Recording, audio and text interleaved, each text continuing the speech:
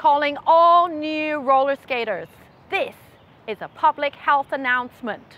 Are you struggling staying up on roller skates because your back hurts and you get cramps all the time? Is this how you want to feel on roller skates? In this video, I will show you how to skate safely and comfortably. Start it up. I am Carl Luna, aka Snooki from Madame Quad. How do you stay safe on roller skates? Do you have any tips or hacks that you want to share? Don't keep them golden nuggets to yourself. Sharing is caring. Comment below and let us know. But not now, silly. Wait till the end of the video. Let's get rolling. First things first, know thy body, yada, yada, yada.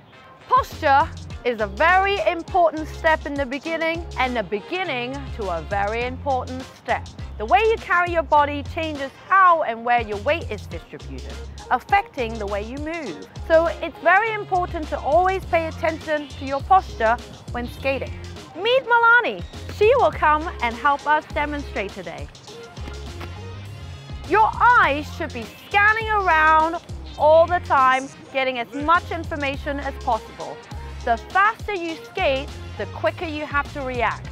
So keep your chin parallel to the ground and look as far as possible and train yourself out of staring at your feet. Squeeze your back muscles, drop your shoulders, keep your chest up. Oh, sorry, just slapped myself. But keep your chest up, be proud.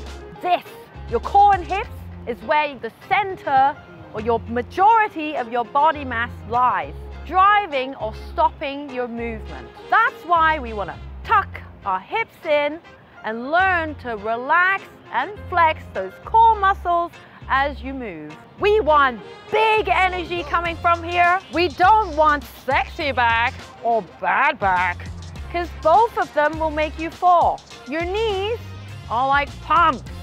They need to move up and down to absorb or apply pressure.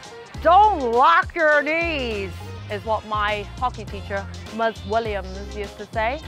And she would be right, because dead straight legs will shift your weight all the way to the edge of your heel, making it easier for your skates to slip out, making you fall.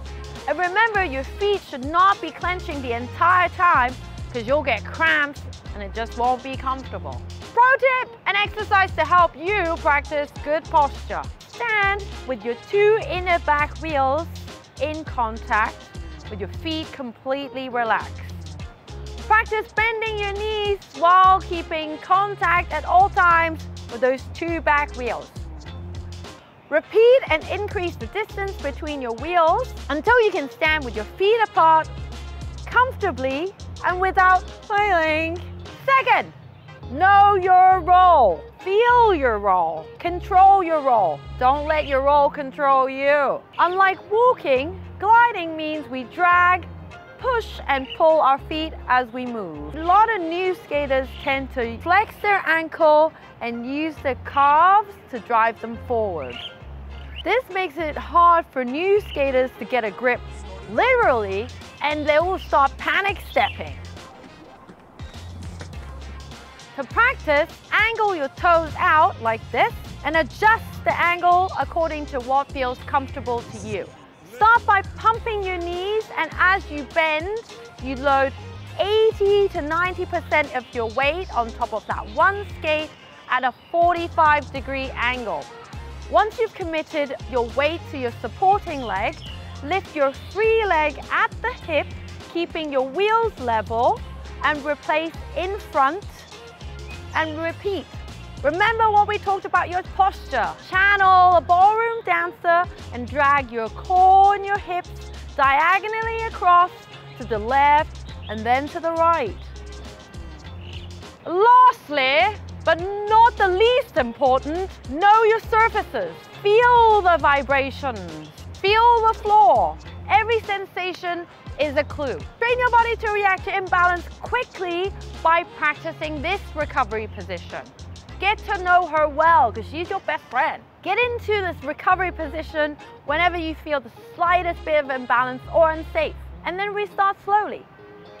Thank you for watching this video. If there's anything you don't understand, comment below. We read them. Actually. We also love subscribers and more comments. So if you want our love, do it. Get on it. That's how you do it. Do it.